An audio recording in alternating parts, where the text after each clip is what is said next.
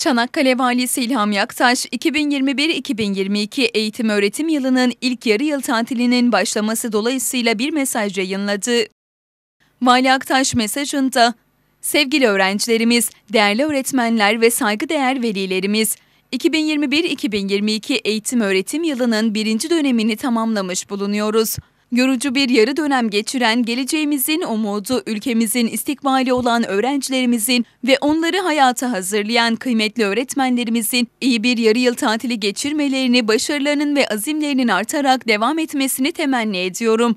Bu vesileyle tüm öğrenci ve öğretmenlerimizin aileleri ve sevdikleriyle birlikte iyi bir yarı yıl tatili geçirmelerini temenni ediyor, sağlık, başarı ve mutluluklar diliyorum ifadelerini kullandı.